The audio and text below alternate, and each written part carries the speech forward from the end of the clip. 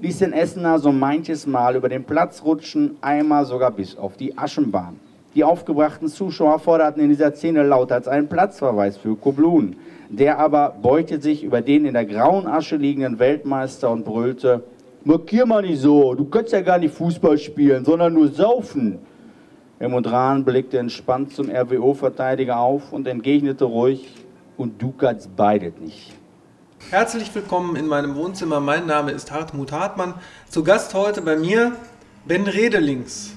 Wie wird man hauptberuflich Fußballkulturschaffender? Irgendwie war das mehr oder weniger so, dass ich studiert habe auf, auf Lehramt und ähm, das auch abgeschlossen habe im ersten Staatsexamen, aber währenddessen parallel schon ähm, ein bisschen ins kulturelle Leben reingeschnuppert habe und gemerkt habe, okay, da liegen so die dann doch die äh, weiteren Lebensplanungen eher drin, als sich vor eine Schülergemeinschaft zu stellen und äh, ja, 24 Stunden die Woche das zu machen. Ich habe halt ein Jahr lang in äh, Niederlanden äh, das auch gemacht als Sprachassistent und habe da auch wirklich vor der Klasse gestanden, weil die da Lehrermangel gerade hatten und ähm, da habe ich gemerkt, das ist halt wirklich nicht so genau hundertprozentig das, was ich machen wollte. Und äh, Fußball war immer meine Leidenschaft, mein Leben. Also wenn Sie nicht vor einer Klasse stehen könnten und die in Schach halten, wären Sie auch nicht zum Fußballtrainer geschaffen.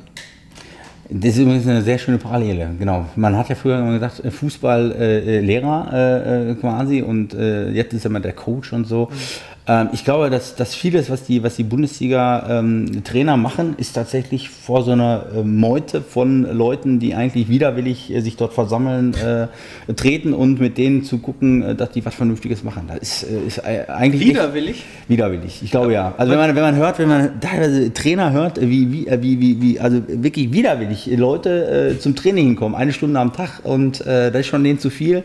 wenn ich mir da vorstelle, die, die würden mit der gleichen Einstellung gehen die in die Schule rein und ähm, würden da stehen und würden dann ähm, äh, würden da sitzen in der Schule und die stehen da halt vor den Trainern und das ist, glaube ich, das Original das Identische. Und das ist auch eine Gruppe, die äh, sich in kleine Teile zersplittert und teilt. Sein Bruder Lothar, der aufgrund des Bundesliga-Skandals mit 37 Jahren Verspätung erst 2008 die 1971 verwehrte Torjägerkanone für seine 24 Treffer in der Spielzeit 1970-71 erhielt, hat damals noch einen weiteren einzigartigen Titel errungen. Und zwar den des ersten Bundesligaspielers, der die neu eingeführte rote Karte sah.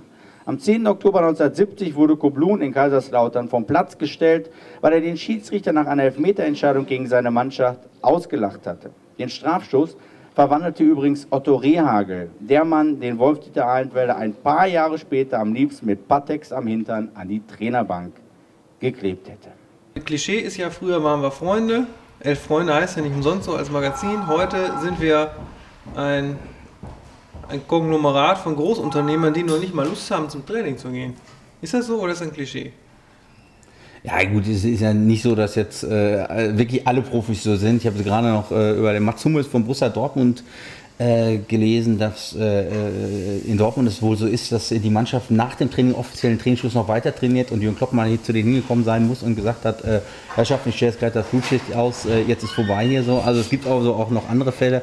Aber ähm, ich, äh, was, was ganz, ganz fulminant ist halt, ist die, die Abschottung der, der Profis von heute. Ja. Also wirklich, ähm, das, das, das werden halt sterile sterile Leute sind das, die da produziert worden sind und äh, oder die werden uns in den Medien so als steriles Produkt äh, vorgehalten und ähm, da ist nichts mehr Menschliches dabei und das, das ist das, wo ich auch immer mit meiner Arbeit versuche anzusetzen. Ich sage, manchmal sind auch Kerle, das sind auch Jungs, die ein ganz normales Leben führen und man muss das auf eine charmante Art und Weise hervorholen.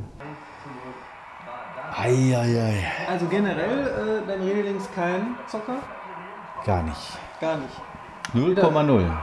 Weder Fußball noch was anderes. 0,0. Da fällt mir zum Beispiel spontan Patrick Ochs ein. Der Ja. ist, soweit ich weiß, seit 360 Spielen Frankfurter und der wird auch noch, bis er umfällt, Frankfurter bleiben. Gibt es da noch mehr von? Von solchen Männern?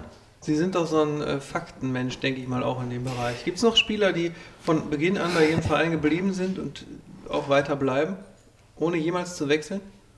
Es gibt ja immer weniger, das ist ja, ist ja ganz klar. Also äh, früher war es ja Usus. Ne? Also früher war das genau das Gegenteil. Also ein Charlie Körbel Äh, der hat noch geheult, äh, dass der Schiedsrichter ihm im vorletzten Spiel halt das 603. glaube ich, Spiel noch verwehrt hat für seine Eintracht. Der war völlig fertig. Der war immer bei der Eintracht. Atalamik bei uns, 518 Spiele hat er da äh, durchgängig gemacht. Die meisten Spieler sind ja äh, früher wirklich bei einem Verein geblieben oder vielleicht mal zwischen äh, zwei Vereinen mal hin und her gewechselt oder so, aber weil der eine runtergegangen ist. Aber ähm, es ist schon so, dass, dass das heutzutage sehr selten geworden ist. Und äh, Faktmensch bin ich übrigens äh, tatsächlich äh, nicht mehr. Also bis meinem 18. Lebensjahr konnte ich den Kicker und Alpanini Sammelalben runter und äh, rauf und runter beten und so, aber dann äh, ist irgendwas in meinem Kopf passiert und äh, das ist nicht mehr, nicht mehr da. Und ein hoher Pass ist dieses Quadrat, wupp, dann geht das ganz Wahnsinn. hoch zum nächsten Spieler, der automatisch angewählt wird. Und wie, wie, wie, wie grätsch ich hier Du rein? grätscht mich, glaube ich, mit äh, Quadrat. Warum haben wir jetzt so eine andere Perspektive? Achso. äh, wenn du- Boah. Spielbereit? ja, ja, Ach so. das ist schon tatsächlich der Fall. Das? das war, äh, Ach, da haben wir noch nicht die Original-Kommentatoren genommen, oder? Doch, doch, das ist der Hansch. Das ist Werner Hansch? Ja, ja. Guck mal, jetzt hast du zum Beispiel geschossen. Ja. Ah ja, das ist äh, überraschend. Wo ist denn dann der Überraschend. Spieler? Der Bochum braucht auch einen Verein wie VfL. Oder? Malocher Fußball, kann man sagen. ja.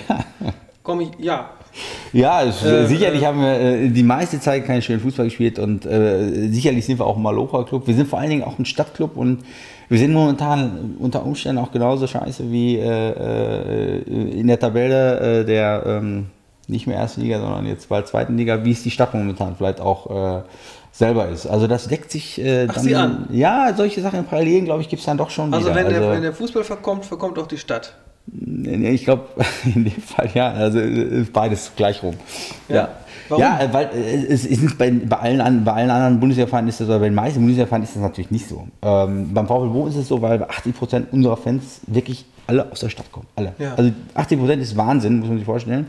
Äh, weil äh, Schalke natürlich äh, landesweit seine Fangruppierung und Fanclubs hat und Bochum hat nur die Fans in der eigenen Stadt und deshalb deckt sich das, glaube ich, sehr prominent bei uns. Torwart ist Automatik. Der ist automatisch. Ja, ja, ja. Das heißt, auf den kann man sich schon verlassen. ein bisschen. Ja, anders als bei der WM. Ah, okay. Ja.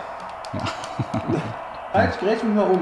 Wir versuchen mal. Ach, der, der, der vorne ist Du es. bist jetzt da. Wie grätscht man? Ja, jetzt hast du mir den Ball einfach so abgenommen, ohne, war ja keine Grätsche nötig. Ja.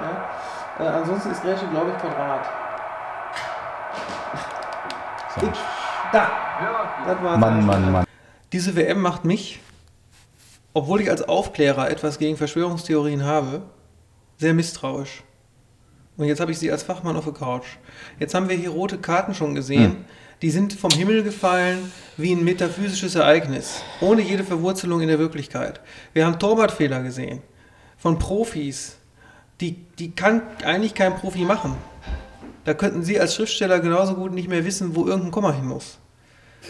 Meine These, widerspr- meine These wäre, ähm, die WM ist ein Testballon, inwieweit man die komplett schieben, verschieben kann, ohne dass die Leute es merken. Und zwar steckt meiner Meinung nach dahinter die Familie McMahon. Kennen Sie die? Vom Wrestling? Die Chefs vom amerikanischen Wrestlingverband. Die Frau McMahon ist nämlich hohe Kandidatin für republikanische zukünftige Ämter. So, die haben sich da eingekauft und gucken jetzt, dass Fußball vielleicht in Zukunft so sein könnte wie Wrestling, mit Drehbuch und alles. Das ist jetzt schon zu Ende geschrieben und die testen, ob wir, ob uns das nicht aufhält. Weil er in Südafrika am besten äh, zu organisieren ist. Ja, ich, also ich traue Blatter alles zu. Aber nicht, dass er die Fähigkeit hat, äh, erstens selber ein Drehbuch zu schreiben und zweitens eins schreiben zu lassen, was gut ist. Aha. Also das, das kriegt er nicht hin. Das kriegt er nicht hin. Das, daran würde es scheitern. Sie müssen noch zwei Stunden bleiben. Welchen Film ziehen Sie sich rein? Spontane Auswahl. Ich darf zwei Stunden bleiben und äh, wenn ich ganz spontan äh, hier gucke, braucht man nie lange machen, äh, äh, definitiv äh, Karate Kid. Weil Mr. Miyagi, äh, man will es wirklich nicht glauben, aber wir haben das früher bei uns im Religionsunterricht äh, gesehen und es ist mein, äh, einer meiner absoluten Lieblingslehrer gewesen, äh, äh, bei dem wir das gesehen haben und ähm, äh, ich glaube, wir haben den dritten nicht mehr gesehen, aber die ersten beiden Teile haben wir im Religionsunterricht gesehen und äh, auftragen, polieren.